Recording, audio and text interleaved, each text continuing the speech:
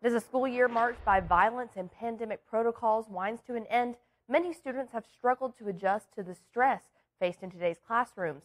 19 News Mitchell Reif visited Marquette area public schools to learn how they assist students in need of extra help. Marquette Area Public Schools has implemented the Multi-Tiered System of Support, or MTSS, which is a program that focuses on students in all avenues of wellness. The components of MTSS follow team-based leadership and help students who need support. In light of recent events, the tragedies that we're all aware of, I think the focus, again, is all the more prevalent on those factors of education that we don't always think about. The superintendent of MAPS, Zack Sedgwick, knows that MTSS is making a huge difference with not only education, but more importantly, the students.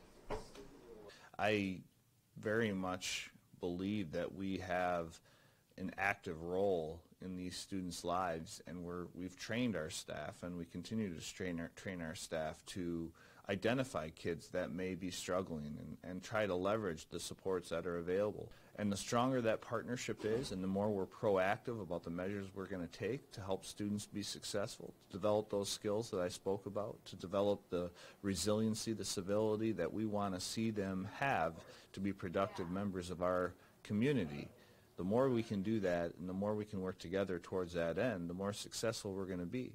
And the less likely it is that we'll experience tragedy. Mitchell Reif, 19 News.